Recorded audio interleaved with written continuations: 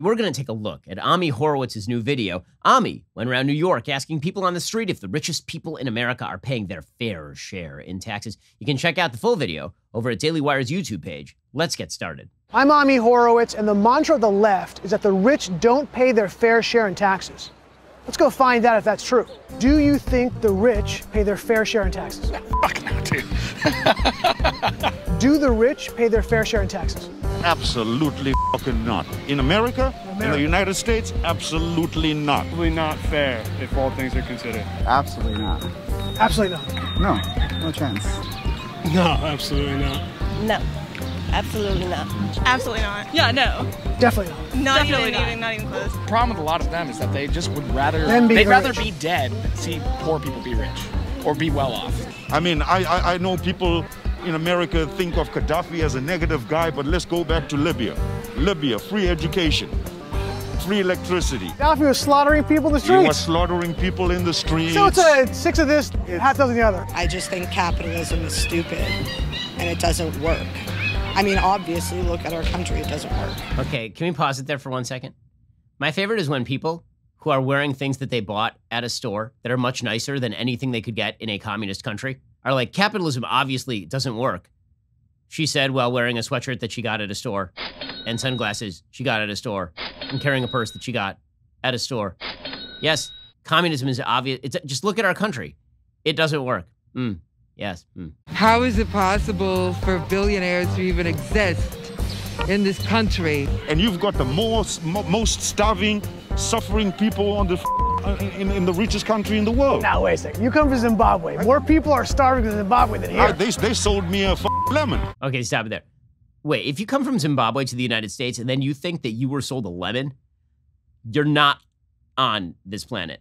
Zimbabwe is one of the worst places to live on the planet. Also, like, I noticed that you have some sunglasses, nice Nike sweatshirt right there. Like, the, the, the notion that, that other places around the world are better than the United States is rooted in either insanity or complete ignorance. We have the most starving people on the planet. No, we absolutely 100% do not. We do not have nearly the number of starving people that pretty much every other country on the planet has, which is why people were clamoring to get here. I noticed there was not a lot of reverse immigration from the United States to Zimbabwe, for example.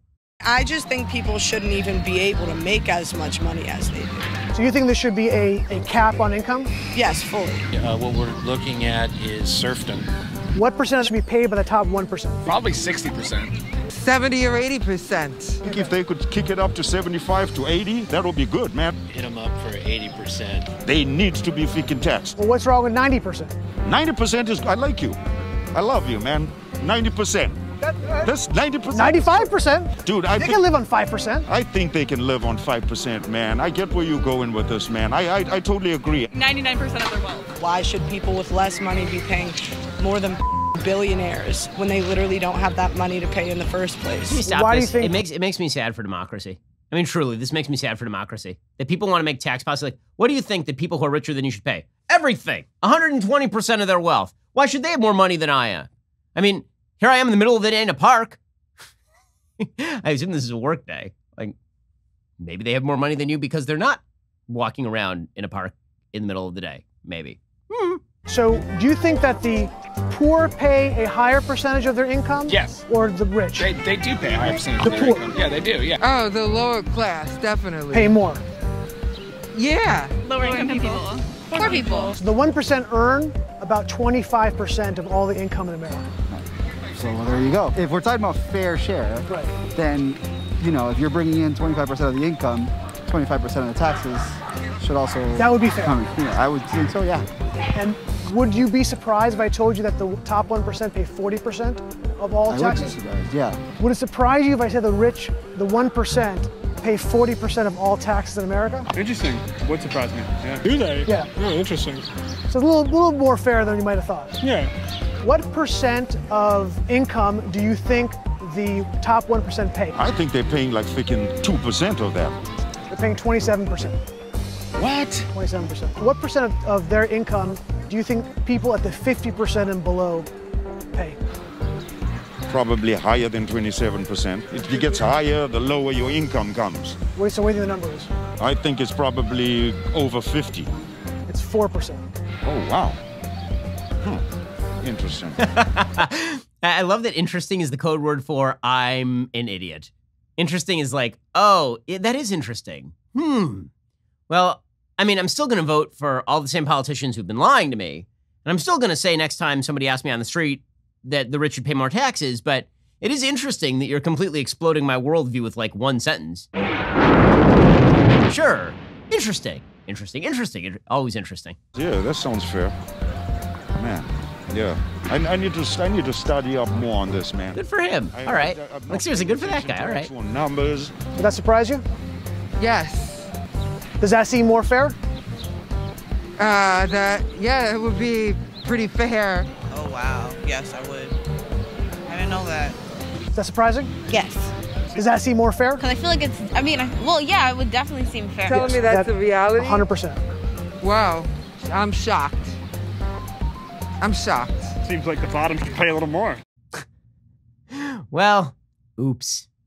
Well, oops. As you can see, a huge number of Americans know nothing about the actual tax rates in the United States. All they know is what the media keeps saying over and over. And they know that Bernie Sanders told them that the rich aren't paying the fair share, even though I have three houses. And they know that Alexandra Ocasio Cortez is like, well, that's what they know. Those are all the things they know.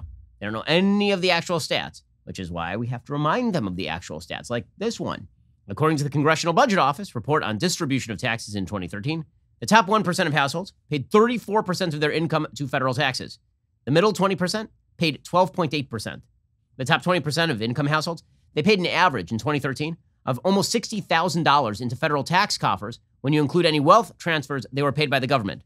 The fourth highest quintile, meaning like the people between 20 and 40%, they paid like 2600 bucks. The middle quintile actually made money from the feds. And the second lowest quintile made $12,200. The lowest quintile made like almost $9,000 from the federal government. Here's the bottom line. Okay, according to the American Enterprise Institute, the highest income quintile, like the top 20%, are financing 100% of the entire system of transfer payments to the bottom 60% and also funding the entire operation of the federal government.